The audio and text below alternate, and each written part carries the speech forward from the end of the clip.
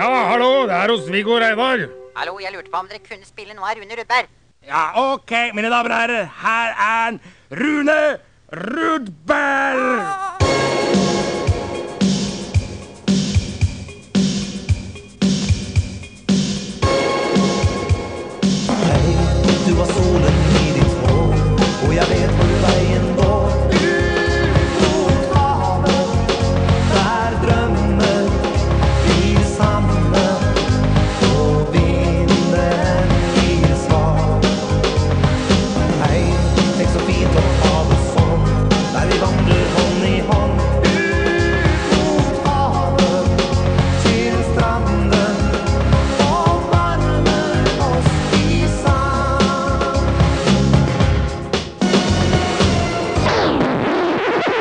Ja, det får være nok Rune Rudberg.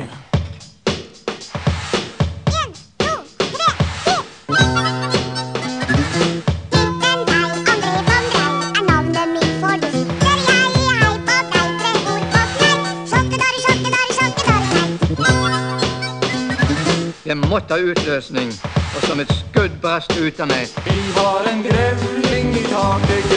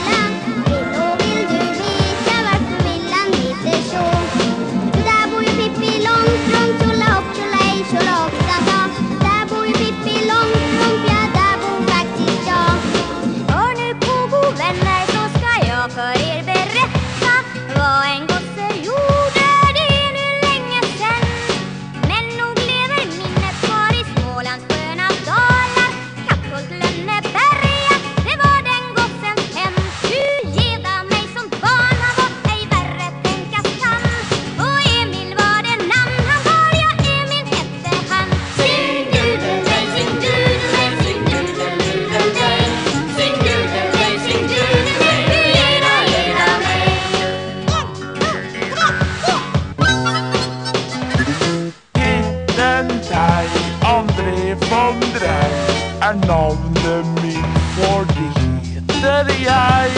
Hei på deg med ord på sleip. Sjokkedare, sjokkedare, sjokkedare, nei. Oi, oi, oi. Nei, det der var visst feil.